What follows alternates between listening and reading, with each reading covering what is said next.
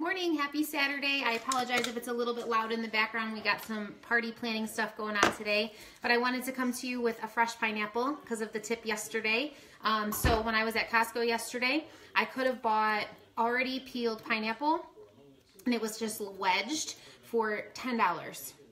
Or I could buy a fresh pineapple for $2. And in the summertime, these get down to like 99 cents. So I went with this and it's going to give a little bit more love and attention. But we all know cooking with love is definitely up my alley.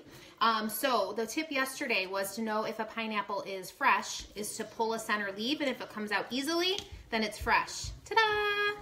If it does not come out easily, oh, I just poked myself with a sharper one.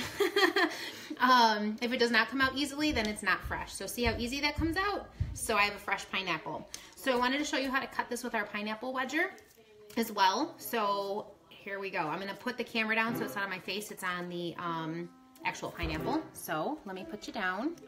All right, so the trick for me, because of my height, is I like to cut the pineapple a couple times before I put it through the wedger. So the first thing I'm gonna do is I'm gonna take my nice utility knife. I'm gonna cut the top off. Isn't that pretty? And then I'm gonna cut the bottom off. This reminds me of the trip I probably will go on to Hawaii next year, and I'm so excited. So you want flat surfaces for the wedger. Now, because of my height, I'm about 5'3". This is oftentimes hard for me to get through with the pineapple wedger, so I like to cut mine in half again so that I have a little bit better leverage.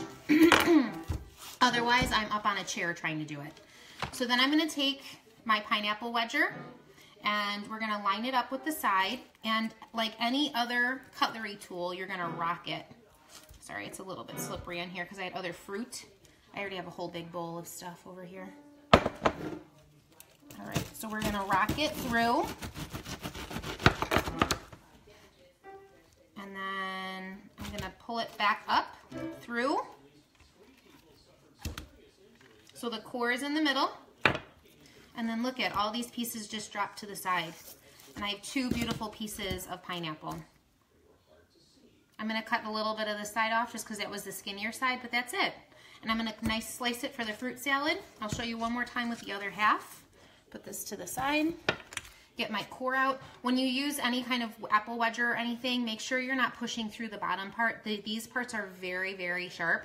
So I always push down and through, okay? Put those to the side and I'll show you with the other one. This one lines up a little bit better because it's the fatter part of the pineapple.